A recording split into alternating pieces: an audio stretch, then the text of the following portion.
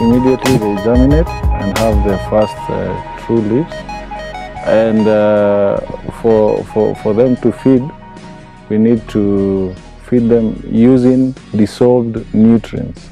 These nutrients have been dissolved in water and uh, of course they are the primary nutrients such as nitrogen, phosphorus and potassium, commonly referred to as NPK. Then there are secondary nutrients, then there are the micronutrients which are also very essential during the development of the seedlings.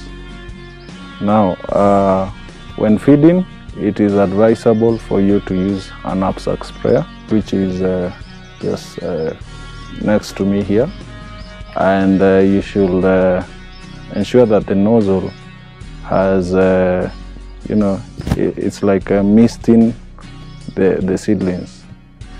Ensure that uh, your nutrients are well balanced so that you do not have uh, weak seedlings. You need strong seedlings, that's why we are feeding them before transplanting.